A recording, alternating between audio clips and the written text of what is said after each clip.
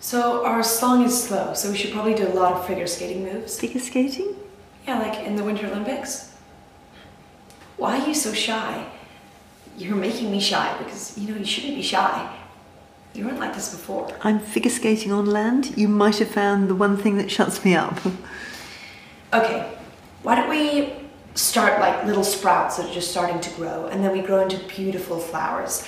I did that in my third grade um, ballet recital and you know it goes over really well. Uh, show me? Yeah. You want me to do that? Ah, Look, it will be beautiful and haunting, I promise. And then um, maybe you could pick me up and, and twirl me around and make sure to look me in the eyes. Yeah, make it as goopy as possible. Okay. And then, um, oh, maybe we could uh, freestyle or something. ah, I thought you said you could dance. I can dance. Uh, you know, I was classically trained from the third, third from ages three. Blah, blah, blah. You're going to embarrass me in front of all your friends, aren't you? No, and they're my brother's friends, not mine. Well, I'm your friend. Yeah, you are now. He has every right to be in there. Chris was his brother too. You weren't there, you don't know. I do know. And it wasn't right of you.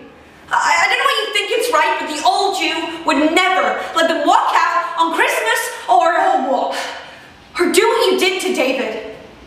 You told him that you would ruin him. Is it because you already did? I'm going to end this David conversation once and for all. You and David have broken up by now. Oh. It's fine for high school, but it would never have It- It's not for you to decide.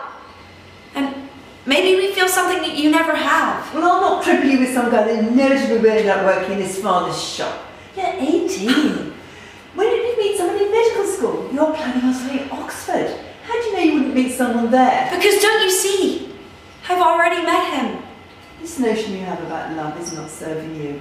You're too young to know that. Oh, too bad. I do know. I love David. He's the one. And you can't stop us from being together. You promised me you wouldn't do this. You'll throw your future in the trash for a man who's determined to rip you away from your family. You don't seriously believe that, do you? Because you're the one that's pushing me away. It's not David. It's always been you. You're very alive. I have to be in summer school in two hours. Oh, boo! I remember him. You, you do? Yeah, I was in eighth grade when he was a senior. He was good, I remember that. He was perfect. Especially now. Now that he's gone. My dad took it the hardest. He would never leave Chris's room, not even to lecture. I used to wake up in the middle of the night to hear him crying. Is that why you stayed with him? Everybody got tired. I just I just couldn't leave him alone. He's everywhere. Everywhere you look is a memory of Chris. Every nick, dent in the wood, marker on the wall, it's him. Sometimes uh, I think this house just keeps us from living. I want you to like my dad, David. Do you like him? Sure, and I like your mom. No, I, I want you to like my dad.